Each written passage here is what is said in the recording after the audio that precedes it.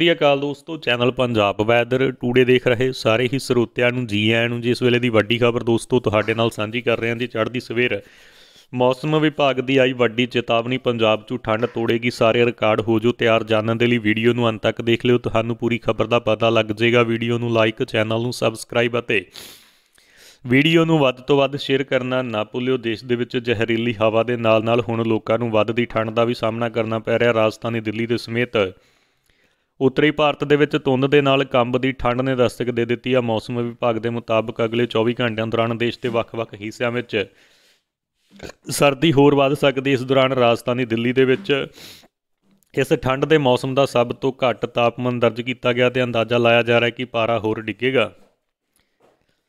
ਇਸ ਦੇ ਨਾਲ ਹੀ ਜੰਮੂ ਕਸ਼ਮੀਰ ਤੋਂ ਆ ਰਹੀ ਬਰਫੀਲੀ ਹਵਾ ਨੂੰ ਹੋਰ ਠੰਡਾ ਕਰ ਦਿੱਤਾ ਹੈ ਤੇ ਆਈਐਮਡੀ ਦੇ ਮੁਤਾਬਕ 19 ਦਸੰਬਰ ਤੋਂ ਜੰਮੂ ਕਸ਼ਮੀਰ ਦਾ ਤਾਪਮਾਨ ਹੋਰ ਹੇਠਾਂ ਆ ਜਾਵੇਗਾ, ਪਰ ਪਾਰਾ ਡਿੱਗਣ ਦੇ ਨਾਲ ਹਕੀਕਤ ਵਿੱਚ ਠੰਡ ਪੈਣੀ ਸ਼ੁਰੂ ਹੋ ਜਾਵੇਗੀ। ਮੌਸਮ ਵਿਭਾਗ ਦਾ ਕਹਿਣਾ ਹੈ ਕਿ ਇਹਨਾਂ ਇਲਾਕਿਆਂ ਦੇ ਵਿੱਚ 2-3 ਦਿਨਾਂ ਤੋਂ ਧੁੰਦ ਵੀ ਬਣੀ ਰਹਿ ਸਕਦੀ ਹੈ ਜਿਸ ਨਾਲ ਸੀਤ ਲਹਿਰ ਚੱਲਣ ਦੀ ਸੰਭਾਵਨਾ ਹੈ।